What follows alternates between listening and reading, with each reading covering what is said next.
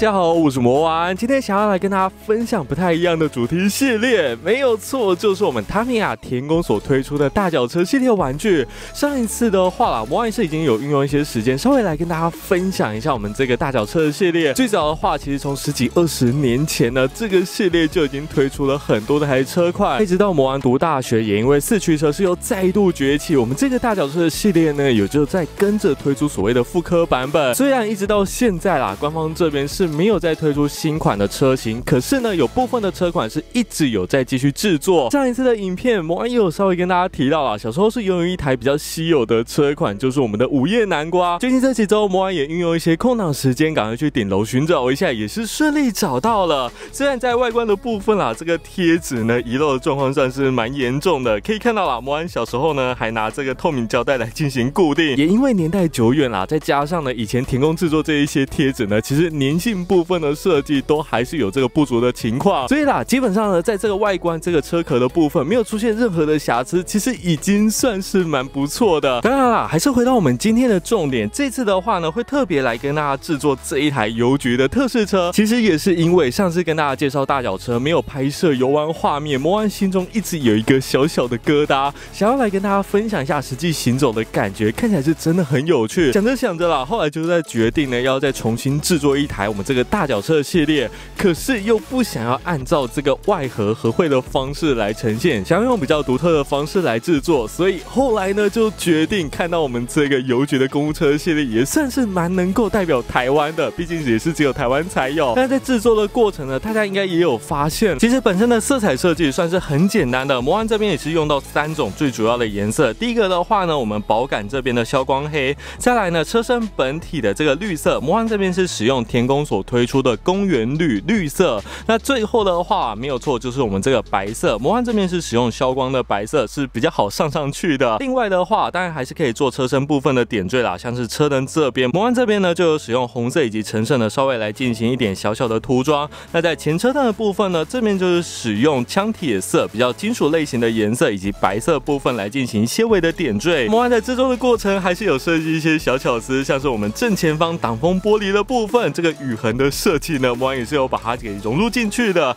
看起来的话就会比较逼真一点点。当然啊，在整体的制作过程呢，魔幻还是以游玩取向的方式来进行制作，所以在本身车身上面部分的细节，魔幻就没有做到这么的讲究。哎，毕竟要拿去跑，难免都会出现一些些微的擦撞啦。制作比较精细，看到掉漆的话，呃，心还是会有一点点痛。所以这边的设计方式啊，就会用比较简单的方式，不管你是新手取向的玩家，还是想要来尝试涂装类型的玩家，都能够轻松完成。当然啦，这次最困难的地方，其实也不是在涂装的部分，而是在于车身侧边这个水贴的设计。官方这边啦，也因为没有推出过这种邮政车系列的模型，所以呢，像是车身侧边这些小小的水贴，没有错啊，都是魔王自行设计的。第一次尝试制作水贴，哎，其实比想象中来的更加复杂啦，有很多小细节的地方，等到印出来之后呢，才会知道。那以第一次的设计来说啦，其实魔王已经觉觉得算是蛮满意的。未来的话，当然也就可以来制作更多不一样的类型，像是警车系列等等的。好啦，相信大家已经等不及看到我们的游玩画面，魔幻这边也就不再多说了，我就直接带去公园稍微跑个两圈吧。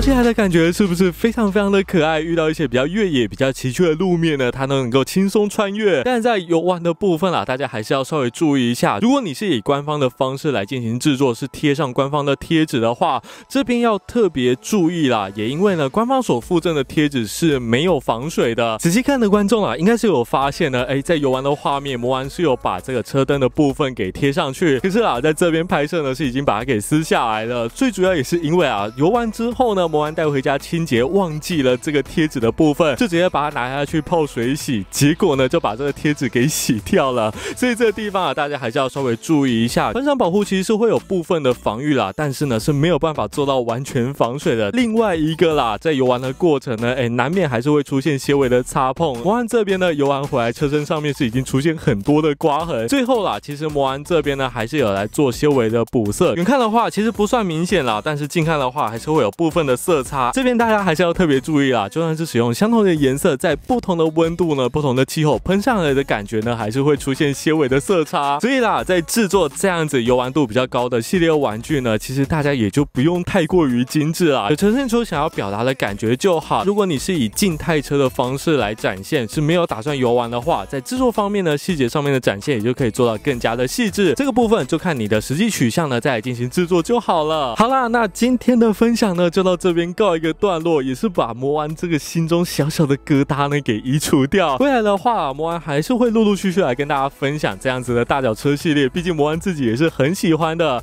当然有在制作一些比较特殊系列的车款呢，一定也会再拿出来，再跟大家做一个简单的分享。好了，那今天的影片呢，就到这边告一个段落啦。之后一样会再有不一样的玩具开箱、玩具分享，又或者是我们组装模型的系列开箱。我是魔丸，那我们下次影片再见喽，拜拜。so